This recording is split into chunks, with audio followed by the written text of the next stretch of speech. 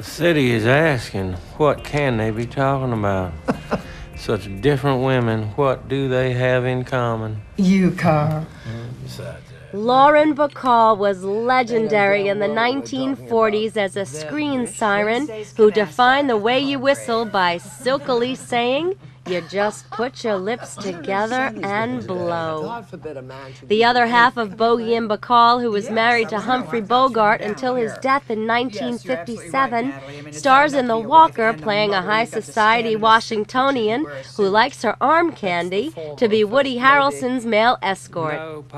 Loosely based on Nancy Reagan's Walker Jerry Zipkin, Lauren says they do come in handy from time to time. Male escorts I would guess they come in handy sometime. Uh, I unfortunately don't know any, and I live alone, you know, except with Sophie, of course. But um, I don't know. I mean, I think they have a function.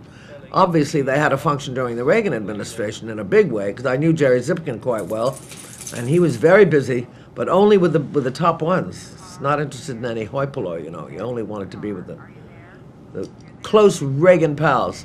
Now at 80 something years young, Betty, as she's known to her very close friends, says she still feels she wants the company of men to escort her to the theater. It can be very convenient. I mean, if, if you're a woman alone and you want to go to the theater, it's great to have someone to go with. And um, I, unfortunately, don't have one. I would love to have a male escort, but I don't know any.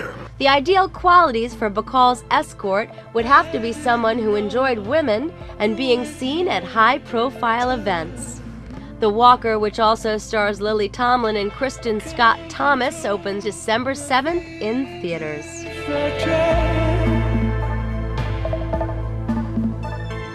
Right.